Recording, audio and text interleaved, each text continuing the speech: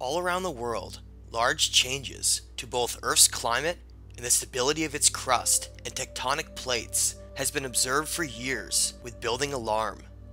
After a series of devastating earthquakes hit Mexico, killing hundreds of people, and volcanoes all across the plate boundaries rumbled back to life, many experts and scientists are becoming increasingly worried that the Ring of Fire has awakened. The first and most important place to start is by understanding what the Ring of Fire is and how all of this is connected to our current time. The Ring of Fire represents a series of large tectonic plate boundaries in the Pacific Basin, covering more than 25,000 miles, which includes 75% of all the active volcanoes on Earth. Roughly 90% of all earthquake activity on the planet occurs along this dynamic boundary, showing the extreme instability and dangers associated for communities living near them. The Ring of Fire is created from numerous plate boundaries interacting against one another, either from being subducted or uplifted. This collision is the trigger for what causes both earthquakes and volcanoes. Millions of people live in close proximity to these faults and often forget how active they can become. Our short lifetimes as humans pales in comparison to that of the geologic record of time, which shows devastating events that occurred 12,000 years ago, leading to the rapid end of the Ice Age and the disappearance of ancient civilizations long ago we now only consider just a myth. During that time period, evidence suggests that the tectonic plates of the planet became disrupted by a possible pole shift of the magnetic field of the Earth, which led to enormous tsunamis and volcanic eruptions that changed the entire climate of the planet for thousands of years. This time period, known as the Younger Dryas, featured rapid warming within the planet and disruptions to the oceans and plates from some unknown gravitational force not yet acknowledged by mainstream scientists that seems to be periodically affecting the Earth every few thousand years.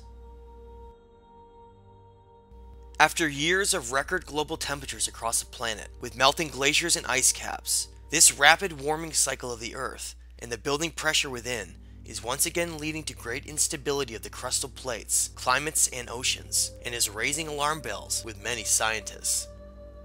Over the last several months, thousands of medium sized earthquakes, known as swarms, ranging up to 8.1 on the Richter scale, have been affecting the entire Ring of Fire plate boundary with increasing intensity.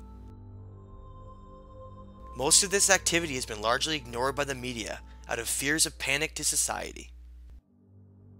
These earthquake swarms along the fault lines have been accompanied by increased volcanism with more than a dozen active volcanoes along the Ring of Fire boundary, and others threatening large eruptions, such as the 10,000 foot Mount Agung in Indonesia, where thousands of people have been evacuated with the highest threat level issued.